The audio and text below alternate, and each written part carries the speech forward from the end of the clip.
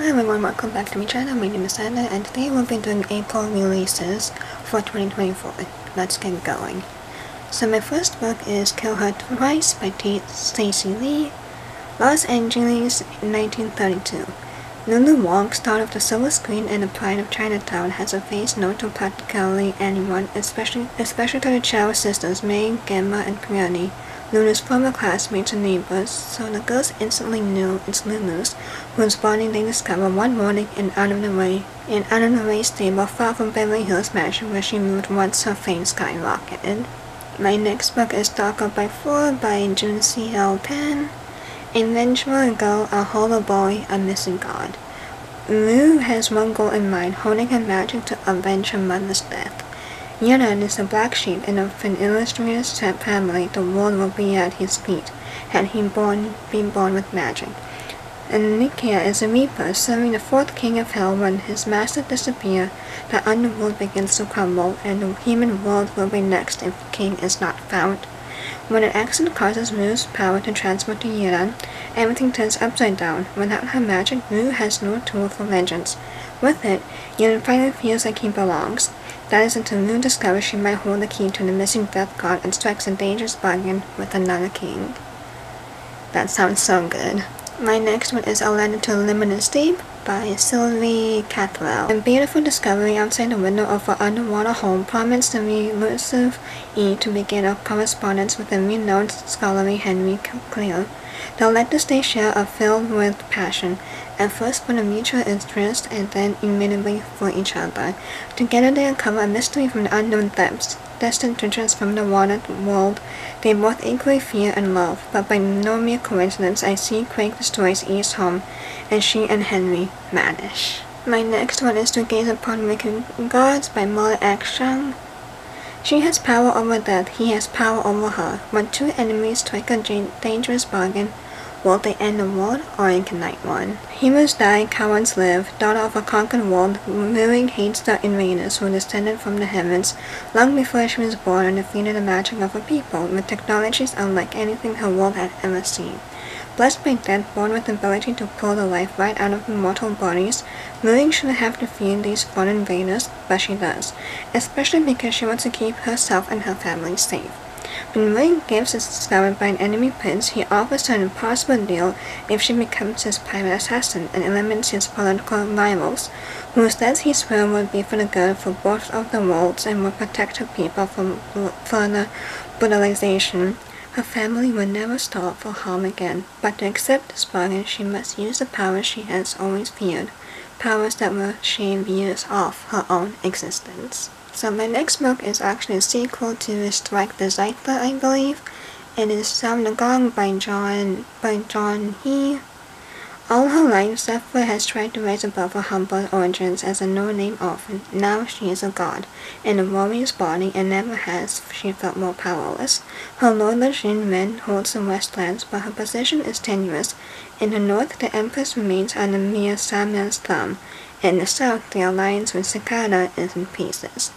Fate also seems to have wonder in mind for the Three Kingdoms, but Zephyr has no intentions of respecting it. She will pay any price to see Ren succeed, and she will make her enemies pay, especially one dark-haired, dark-eyed crow. What she will do when she finds out the truth, that he worked for the South all along. Only the heavens know. I might actually have to reread the first one. I kind of remember what was happening, but I might have to reread the first one. This one is Song of the Six Worlds by Judy I. Lin. It is, I believe, also the first book. I think it's the first book of something, but uh, Zoom, a talented young musician, has no past and probably no future. Often at a young age, her kindly poet uncle took her in and arranged for an apprenticeship at one of the most esteemed entertainment houses in the kingdom. She doesn't remember much from before entering the House of Flowing Water. In which her uncle is suddenly killed in a battered attack, she is devastated to lose her last connection to her life outside of her in intentional contract. With no family and no patron, Zhu is facing the possibility of a lifetime of servitude playing a queen for nobles and that praise her talent with one breath and sneer at her and lowly social status with the next. Then one night, she is unexpectedly called to the man's to a call to the garden to put on a private performance for the enigmatic Duke Meng. The young man is strangely kind and awkward for nobility and surprises Zhu further with an irresistible offer. Serve as a musician in the residence at his manor for one year, and he was set her free for her indenture. But the Duke's motives become increasingly more suspect when he and barely survive an attack by a nightmarish monster, and when he whisks her away to his estate she discovers he's not just some country noble, he's the Duke of Dreams, one of the divine rulers of the celestial realm. There she learns the six realms are on the brink of disaster and incursions by demonic beasts are growing more frequent. The Duke needs new help to unlock memories from her past that could hold the answers to how to stop the impending war. But first, Zhu will need to survive being the target of every monster and deity in Six Realms. So my next one is, this is actually number 3 in the Twin Crowns trilogy. It's, and it is called Burning Crowns by Catherine Doyle. Twin Queens Rose and Ren survived the Battle of Anadawn and brought back magic to the kingdom, but danger lurks in Yanna's shadows. Ren is in trouble. Ever since she performed a blood spell on Prince Enzo, her magic has become unruly.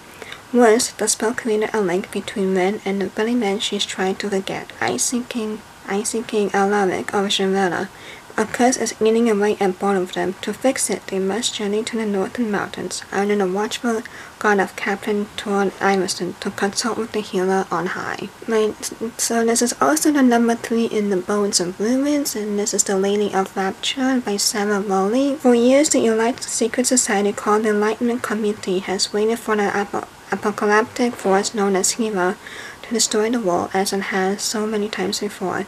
What the committee didn't know, however, was that Hera wasn't an element, it was a person.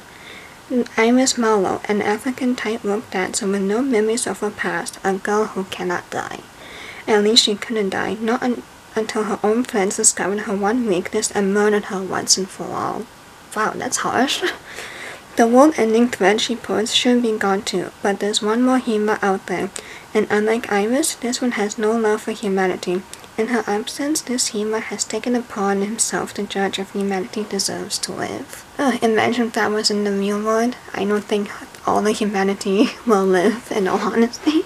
And my last one, this is also number three in In Every Generation. It is called Against the Darkness by Kendare Blake. Then for generations, the Slayer was supposed to be the chosen, the one girl in all the world with the power to stand against vampires, demons, and forces of darkness. When Willow used the Scythe to call upon all the potential Slayers at once, it changed everything. For years. For years the Slayers have been working and fighting together as a team. Then the darkness came, killing many Slayers and trapping the rest in an alternate dimension. And Frankie Rosenberg, the world's first Slayer witch, found herself fighting evil alone. Sort of. Sure, she has a new Scooby gang, plus the help of her mom, Lolo Watcher Spike, and even the brooding Bahat Hunter of Timers. Do they have to use that? Like, seriously, it's so annoying. But even though they have a master plan, obviously, the gang is more fragmented than ever, so maybe it really is up to Frankie, and Frankie alone, to stand against the darkness. When Jake's wild werewolf brother back in town, Dark World threatening to return, and the darkness preparing for the final stage of the attack, now is not a great time to wallow in teen angst. After all, she's the slayer. It's time to slay. That was... that was kind of cheesy. I'm sorry. But okay, so those are the books that are coming in April. Let me know what you're gonna read in April and please like, comment, and subscribe so you'll be notified every time I post and I will see you in my next one. Bye!